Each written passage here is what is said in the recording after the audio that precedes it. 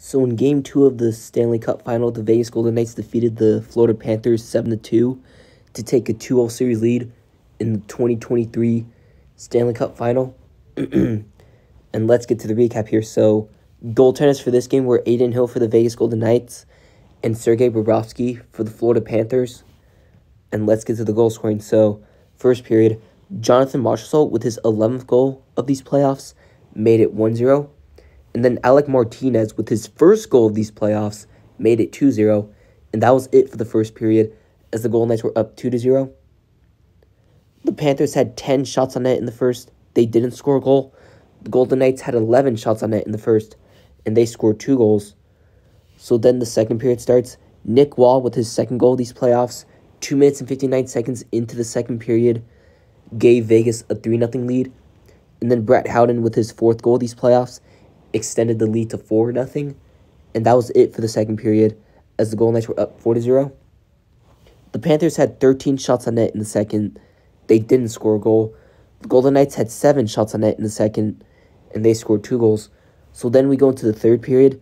Lundell, with his second goal of these playoffs, 14 seconds into the third period, got Florida on the board. But then Jonathan Marchessault answered right back with his second of the game and his 12th goal these playoffs to make it 5 to 1. And then Michael Amadio with his fourth goal these playoffs made it 6 to 1. And then Tkachuk with his 10th goal these playoffs made it 6 to 2. And then Brett Howden with his second of the game and his fifth goal these playoffs made it 7 to 2. And that was it for the game as the Golden Knights defeated the Florida Panthers 7 to 2. The Panthers had 8 shots on net in the third. They scored 2 goals. The Golden Knights had 10 shots on net in the third and they scored 3 goals. And just like that, the Vegas Golden Knights defeated the Florida Panthers 7 2 in Game 2 of the 2023 Stanley Cup Final. So they've won the first two games at home, and now Games 3 and 4 will be in Florida. So hopefully the Golden Knights can defeat the Panthers two more times to win the Stanley Cup.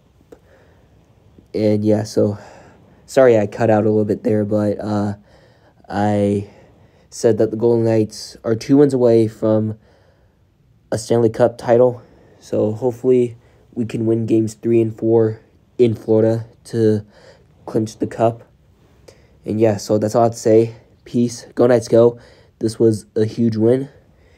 And we are up two games to none. And hopefully we can get our last two wins to win the Stanley Cup.